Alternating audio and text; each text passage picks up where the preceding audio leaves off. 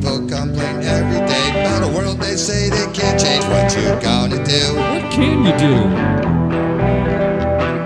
When did wrong become right? Children accept without a bite. They learn from you. Sure did. You showed them and you told them, didn't you? With the things that you didn't, didn't do.